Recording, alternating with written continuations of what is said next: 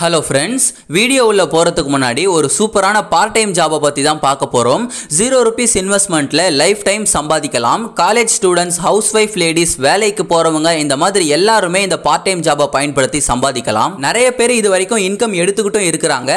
ஆவரேஜாக இருபதாயிரத்துலேருந்து முப்பதாயிரம் ரூபாய் வரைக்கும் நம்ம ஈஸியாக சம்பாதிக்கலாம். இதை பற்றின ஃபுல் டீட்டெயில்ஸ் உங்களுக்கு ஜூம் ஆப்பில் சொல்லி தருவாங்க. கீழே டிஸ்கிரிப்ஷனில் அந்த பார்ட் டைம் ஜாபுக்கு டிஸ்ட்ரிக்ட் வாரியாக வாட்ஸ்அப் குரூப் லிங்க் கொடுத்துருக்கேன். ஸோ நீங்கள் எந்த டிஸ்ட்ரிக்கோ அந்த குரூப்பில் ஜாயின் பண்ணி வெயிட் பண்ணுங்க. மீட்டிங்கான இன்ஃபர்மேஷன் அந்த வாட்ஸ்அப் குரூப்பில் சொல்லுவாங்க.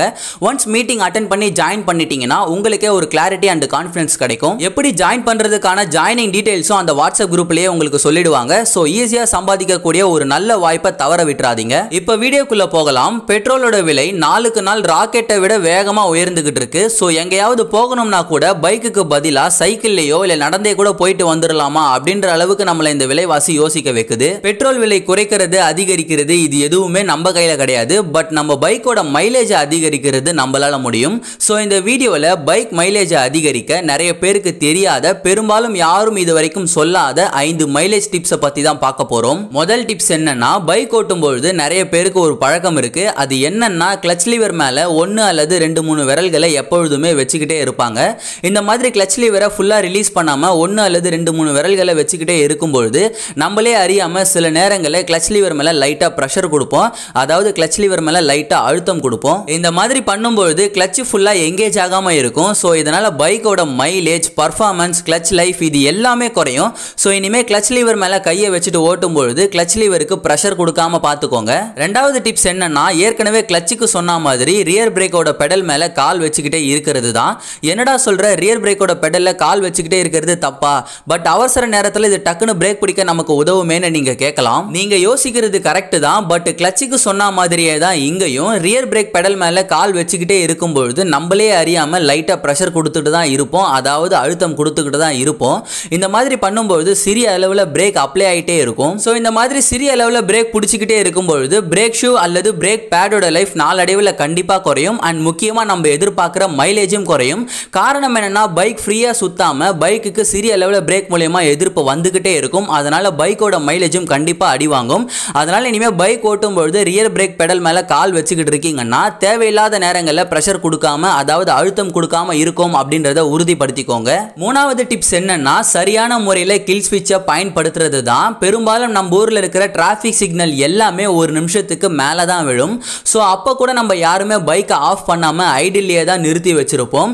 அதனால தேவையில்லாமல் பைக் ஆனில் இருக்கிறதால பெட்ரோல் வீணாயிட்டே தான் இருக்கும். ஸோ இனிமேல் டிராஃபிக் சிக்னல்லையும் சரி இல்லை வேற ஏதோ ஒரு இடத்துல முப்பது செகண்டுக்கு மேலே உங்கள் பைக் இருக்க போகுதுன்னா தாராளமாக பைக்கை ஆஃப் பண்ணிவிடுங்க இந்த மாதிரி பண்ணும்பொழுது கண்டிப்பாக பெட்ரோலை சேவ் பண்ணலாம். அதே மாதிரி உங்கள் பைக்கோட என்ஜின் ஹெல்த்தையும் அதிகரிக்கலாம். இங்கே கவனிக்க வேண்டிய விஷயம் என்னென்னா உங்கள் பைக் தோராயமாக பதினைந்துலேருந்து பத்து செகண்டுக்கு உள்ளே தான் நிற்க போகுதுன்னா அப்போல்லாம் நீங்கள் பைக்கை ஆஃப் பண்ணணும் அப்படின்ற அவசியம் கிடையாது. அதிகபட்சமாக முப்பது வினாடிக்கு மேலே பைக் நிற்க போதுன்னா மட்டும் நீங்கள் ஆஃப் பண்ணி ஆன் பண்ணிக்கலாம். நாலாவது டிப்ஸ் என்னன்னா நம்ம பைக்கை அப்படியே டேரெக்டாக வெயிலில் நிறுத்தி வைக்கக்கூடாது. மனுஷங்க மாதிரி தான் பைக்கும் நம்மளால எப்படி ரொம்ப நேரம் வெயிலில் நிற்க முடியாதோ அதே அதே மாதிரி தான் பைக்காலையும் வெயிலில் ரொம்ப நேரம் நிற்க முடியாது. வெயிலில் பைக்கை நிறுத்தி வைக்கும் பொழுது நாளடைவில் பைக்கோட கலர் ஃபேட் ஆகும் அப்படின்றது ஒரு பக்கம் இருந்தாலும் இன்னொரு பக்கம் சூரியனோட வெப்பம் நம்ம பைக்கில் இருக்கிற பெட்ரோலை எவாபரேட் பண்ணிடும். அதாவது சூரியனோட வெப்பம் நம்ம பைக்கில் இருக்கிற பெட்ரோலை ஆவியாக்கிடும். ஸோ இந்த மாதிரி பைக்கை வெயிலில் நிறுத்தும் பொழுது கொஞ்சம் கொஞ்சமாக பெட்ரோல் ஆவியாகி தேவையில்லாமல் நமக்கு பெட்ரோல் வீணாகும். அதனால் ஒரு இடத்துல ரொம்ப நேரத்துக்கு உங்கள் பைக்கை நிறுத்தி வைக்க போறீங்கன்னா முடிஞ்ச அளவுக்கு நிழலில் நிறுத்தி வைக்க பாருங்கள் ஐந்தாவது கடைசி டிப்ஸ் என்னன்னா உங்கள் பைக் பைக்ல இருக்கிற ஏதோ ஒரு ஒரிஜினல் பார்ட்ஸ் பழுதாயிடுச்சுன்னா அதுக்கு பதிலாக விலை குறைவாக இருக்கிற லோக்கல் பார்ட்ஸை ரீப்ளேஸ் பண்ண போறீங்கன்னா அந்த மாதிரி பண்ணக்கூடாது. முக்கியமா என்ஜின் சம்பந்தப்பட்ட ஏதோ ஒரு பாகம் பழுதாகி அதை நீங்க மாத்தியே ஆகணும் அப்படின்ற ஒரு சூழலுக்கு வந்தீங்கன்னா கண்டிப்பாக அந்த கம்பெனியோட ஒரிஜினல் பார்ட்ஸை வாங்கி போட்டிங்கன்னா மட்டும்தான் நல்ல மைலேஜும் நல்ல பர்ஃபார்மன்ஸும் அந்த பைக்கில் எதிர்பார்க்க முடியும். உதாரணத்துக்கு உங்க பைக்கோட ஸ்பார்க் பிளக் பழுதாயிருச்சு. இப்போ நீங்க அதை மாற்ற போறீங்க.